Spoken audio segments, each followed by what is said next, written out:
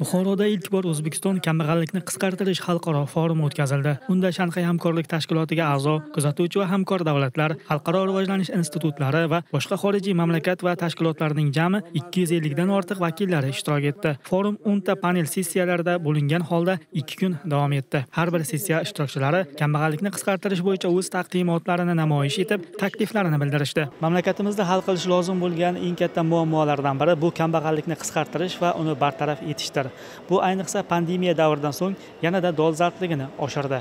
To'g'ri bu borada ba'zi ishlar qilinyapti. Masalan mahallabay ishlash tizimi yo'lga qo'yilib mahallalardagi aholi holidan xabar olinyapti. Biroq buning o'zi yetarli bo'lmayapti. Shu maqsadda buxoro shahrida kambag'allikni qisqartirish mavzusida xalqaro forum tashkil etildi. Maqsad aynan shu masalada xorij tajribasini o'rganish va uni amaliyotga qo'llashdir. Forum avvalida prezident maslahatchisi ravshan g'ulomov davlat rahbarining forum ishtirokchilariga yo'llagan murojaatini o'qib eshittirdi. Shundan so'ng forumni ochib bergan iqtisodiy taraqqiyot va kambag'allikni qisqartirish vaziri bosh vazir o'rinbosari jamshid qo'chqorov o'zbekistonda ikki ming yigirma oltinchi yilgacha kambag'allik darajasini ikki baravar qisqartirish rejalari haqida fikr bildirdi. Buning uchun xususiy sektorni xususan kichik va o'rta biznesning rivojlanishi uchun zarur sharoitlarni ta'minlash va shu orqali barqaror ish joylarini yaratish kerakligini ta'kidladi. Shu bilan birga inson kapitalini rivojlantirish va mehnat unumdorligini oshirish oshirish energiya resurslari narxlarini liberallashtirish kambag'allikdan chiqishning asosiy omillaridan ekanligini aytib o'tdi.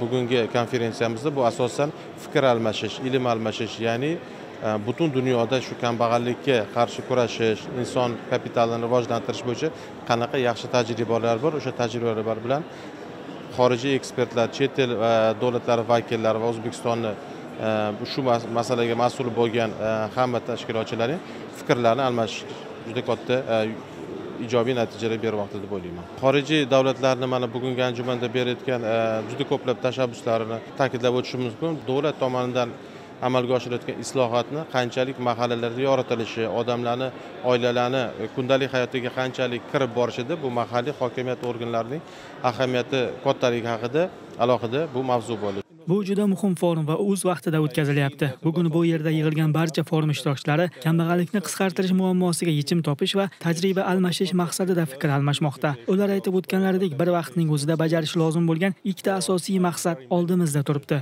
Birinchisi iqtisodiy o'sishni qo'llab quvvatlash ikkinchisi yordamga muhtojlarni ijtimoiy himoya qilish. Agar bu ikki maqsad amalga oshirilsa kambag'allikni qisqartirishda katta yutuqlarga erishiladi. Men shaxsiy tajribamdan kelib chiqqan holda aytadigan bo'lsam o'zbekistonda professional ta'limni rivojlantirish orqali ham kambag'allikka qarshi samarali kurashish imkoniyati bor.